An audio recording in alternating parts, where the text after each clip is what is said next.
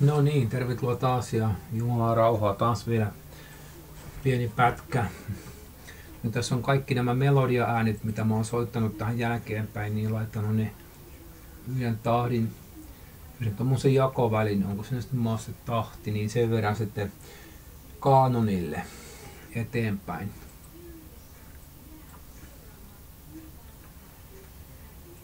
Panas vielä soimaan ja otetaan muutamia kuvauksia.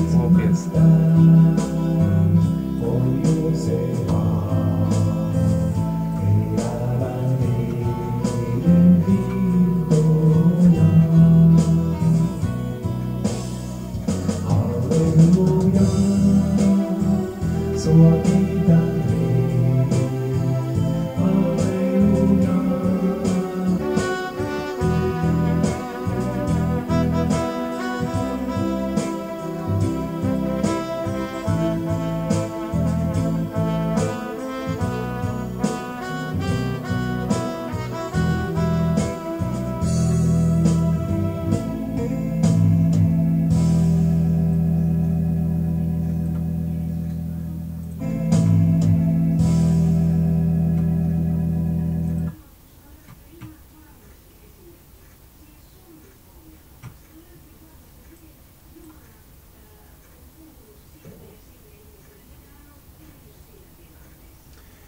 Niin, sitten pannaan noin alkumerkit taas paikallaan. ja valitaan toi alue, mikä on se varsinainen kappale, koska alussa on tyhjää. Se alkaa tosta. Se alkaa tosta, niin miltä se kuulostaa. Pannaan merkki, klikataan aika ja antaa merkki tuohon ja leipää.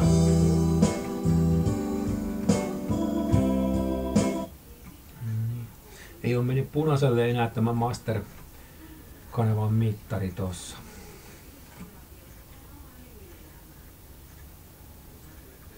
Semmoinen pikku masterointi on tosiaan tehty, että tämä Reaperi Rea Komppi kompressori on laitettu limitteriksi.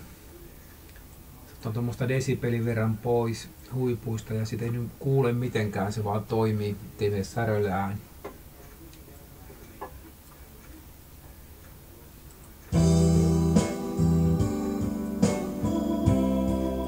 on mõtlusanu, joka usku Jeesus.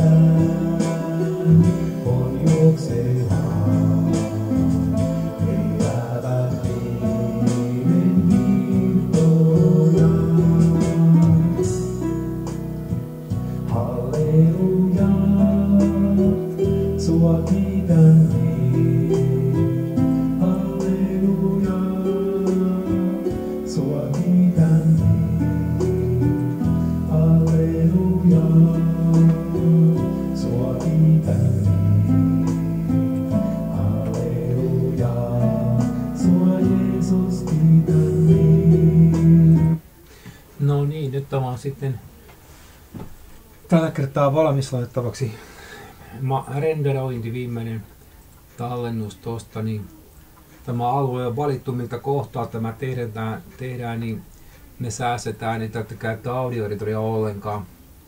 Muuten audioeditorilla pitää siistiä toi alku ja loppu.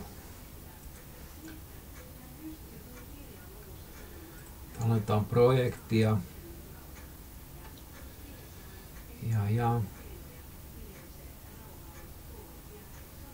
Tää on render tosta ja se on time select tämä alue on valittu ja tehdään vauvi tosta ja sitten render 1 file. Ja tehdään päälle mene eli se tekee tuossa sen tiedostoinnin 60 kertaa nopeudella meni. Ja sitten render ja tehdään sitä MP3 saman tien.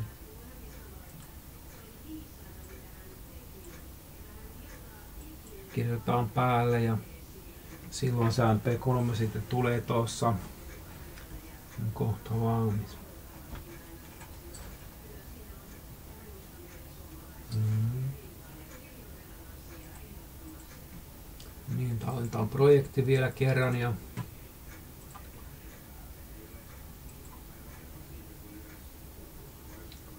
kokeillaan sitten tuossa.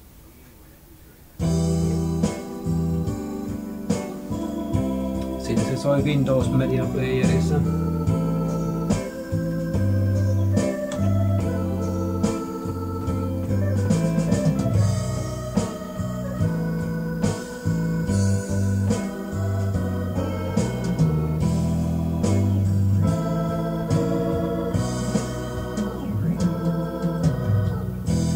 Polską jest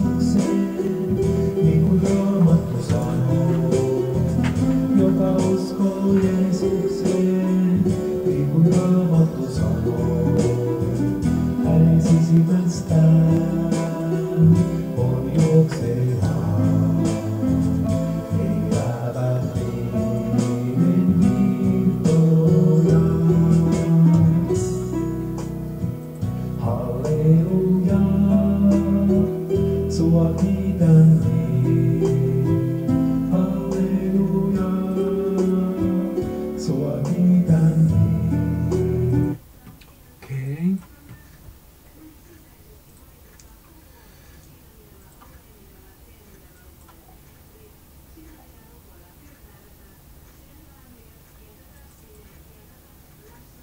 Jos voimme vielä kerran avaan tämän laulun tähän ja kokeillaan vielä vähän laittaa tuolle laululle, niin tästä tuota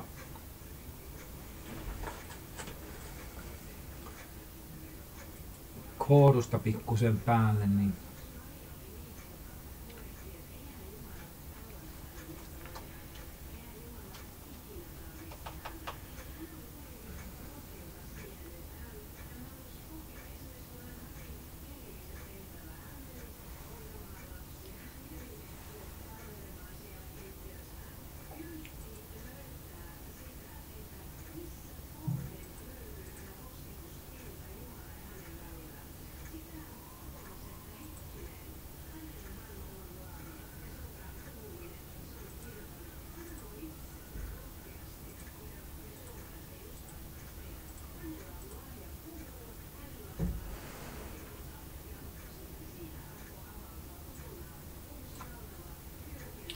näitä on niin paljon täällä näitä VST-efektejä, että minä pikkusen etsimään.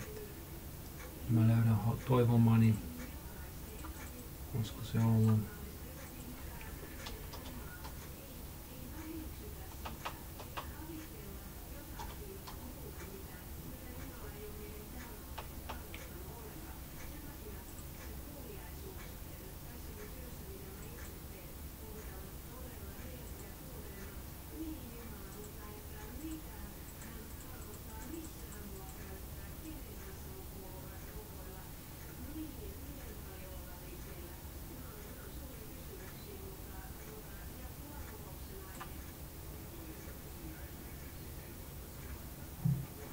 Me joudun pikkusen etsimään, mä otan tuon videon pois päältä.